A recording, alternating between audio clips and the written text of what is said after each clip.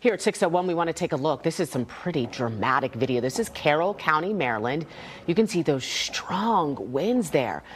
Those winds actually knocked down power lines and poles on Route 140 in Westminster. Mm, mm, More than mm. 30 people and 14 children were trapped. They had to stay in their cars while crews from BGE worked to de-energize the power lines. We want to go ahead and look, show you. This is a, a live look at that scene this morning. Still a mess out there. Uh, those cars are empty now, uh, but they were stranded on the roadway. You can see right there, those cars are not moving. Uh, the governor, Wes Moore, will be traveling here to Westminster to survey the damage and speak with first responders coming up within the next hour or so. This is catastrophic damage. When them power poles came down, they struck uh, 34 vehicles. When them vehicles were struck, a total of 33 people and 14 children were stuck inside their vehicles and trapped. Wow. Well, remarkably, no one was hurt. Route 140, it is still closed. Crews are trying to safely remove all of those power poles from the roadway. Detours can be in place for days. And all those folks did the right thing. When those power lines come down, stay in your car until uh, first responders say that it's safe for you to get out of the vehicle. Safest place yeah, to be. Yeah, don't want to be electrocuted. Now, while some of parts of our region got hit hard, as you can see, the damage for the most part not as bad as we saw last week. Yeah, yesterday's storm still brought powerful winds, rain, thunder, and lightning that downed trees and did cut power to thousands. Right now, here's the latest update. Great news from Pepco. Only 11 customers without power. About 11,000 Dominion customers are still in the dark in Northern Virginia.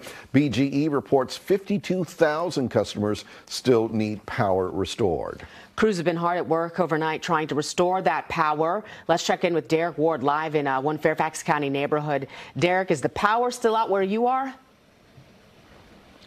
Indeed, it is. Uh, people are anxiously awaiting those crews. I can tell you, we're here on uh, Zion Drive, just off Ox Road. The intersection with Ox Road is dark. The traffic signals are out, so if you travel that way, uh, be cautious. But you can take a look. You can see what the problem is. Up uh, Daisy, up, I'm sorry, up Zion Drive, there's a tree across the road, and it's took, taken down some power lines, and we think that's the culprit uh, for this neighborhood and the intersection being dark. But take a look at some video of what caused all of this. Those storms storms that blew through here with heavy rain, even some hail for some folks. Certainly not as bad here as it was in places like Westminster, Maryland. But if you're in the dark, it's just as bad as anything uh, else, any other situation that we're seeing from this storm.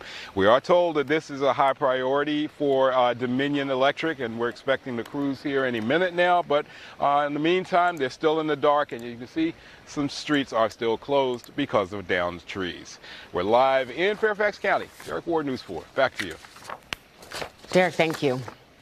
All right, this morning, people in Takoma Park are cleaning up after the storm. Another tree fell, knocking out power in the same neighborhood for the second time in two weeks. This happened on Cedar Avenue near Eastern Avenue Northwest. Chris Owens told us she feels like it's Groundhog Day.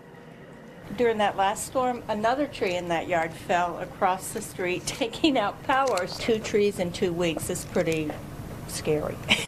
Chris says she's lived here since 1978.